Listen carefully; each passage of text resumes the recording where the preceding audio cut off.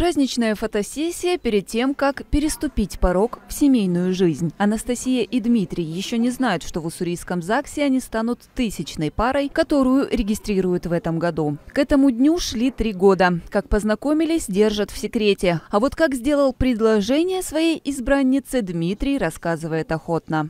Ну, понял, то, что мой человек, и решил сделать предложение.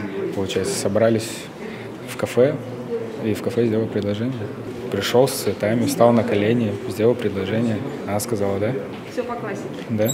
И вот особый момент в их жизни наступил. Они стоят в зале регистрации брака. Анастасия не сдерживает слез, Дмитрий крепко держит избранницу за руку. Прошу ответить вас, Дмитрий. Да. Прошу ответить вас, Анастасия.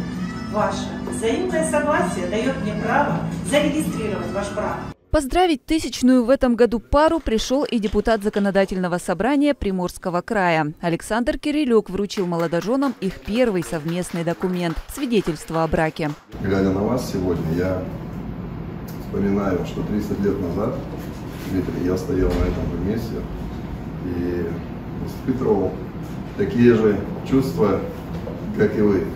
Я помню, и я думаю, и вы сейчас испытываете трепет своих сердец других, испытываете нежнейшие чувства по отношению друг к другу.